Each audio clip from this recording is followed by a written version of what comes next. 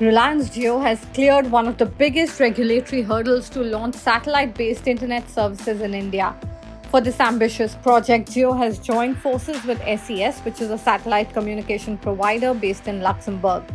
This joint venture is called Orbit Connect India, which has now got some crucial approvals from the regulator IN-SPACe. These approvals will now allow Orbit Connect to operate satellites above India for Jio to actually start rolling out these services, they'll also need approval from the telecom regulator next. In 2023, at the India Mobile Congress, Jio had showcased its SATCOM technology for the Space Fiber service. Jio Space Fiber aims to deliver high speed broadband connectivity to areas in India that were earlier inaccessible by internet. While showcasing the satellite internet technology, Jio was able to connect four remote locations across India. This comes at a time when there are actually two big global companies who want approvals to operate satellites over India to provide high speed internet as well. And these are Elon Musk's Starlink and Amazon's Kuiper. Both the firms have applied and are waiting on approvals.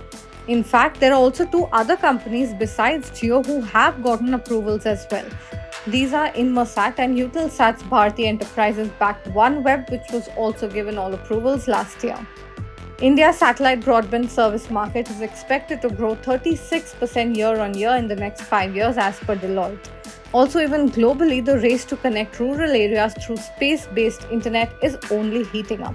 Amazon plans to invest $10 billion in Kuiper, while Sri Lanka gave preliminary approvals for Starlink's internet services.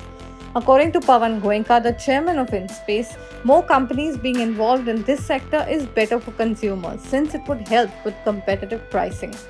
Now that Jio is a step closer to rolling out these services, we'll have to wait and watch who actually manages to beat the rest to Indian satellite space market. Hope you enjoyed this video. For more such content, keep watching Mint.